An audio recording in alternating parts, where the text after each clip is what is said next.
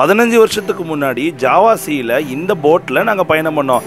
எதுக்கு? ஒரு பெரிய கப்பலில் ஒரு வேலை நிமித்தமாக புயல் காரணத்தினால கரையிலேருந்து ஸ்டீமர் போட் எல்லாமே ஸ்டாப் பண்ணிட்டாங்க. வேற வழி இல்லாமல் ஒரு ஃபிஷர்மேன் போட்டில் வந்திருக்கோம்.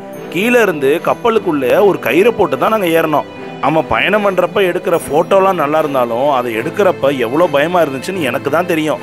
கரியேற்றிட்டு போகிற கப்பலை முத முறையாக நேரில் பார்க்குறப்ப பிரம்மாண்டமாக இருந்துச்சு. அந்த கறியை இன்னொரு ஒரு பெரிய கப்பலில் இழுத்துட்டு போகிறதுக்காக கறியை அள்ளி அள்ளி போட்டு வச்சுருந்தாங்க. சரி மழை பெஞ்சா என்ன பண்ணுவான்னு பார்த்தா பெரிய ஷட்டரே வச்சுருக்காங்க. மழை வந்துச்சுன்னா அந்த ஷட்டரை இழுத்து மூடிடுறாங்க. உள்ளே ஒரு பொட்டு தண்ணி போகாதான். இந்த உள்ளே இருக்கிற கரியை சரிசமமாக்குறதுக்கு ஜேசிபி இயந்திரத்தை வச்சு உள்ளேயே சரிசமம் பண்ணுறாங்க கரியை ஒரு இடத்துல கொட்டுனா ஒரு சைடு லோடாகி கப்பலே கவுந்துருமா? அதனால தான் சரிசமம் பண்ணுறாங்க யோசிச்சு பாருங்க அவ்வளோ பெரிய கப்பலுக்குள்ள ஜேசிபி ஓட்டுறது சாதாரண விஷயம் கிடையாது.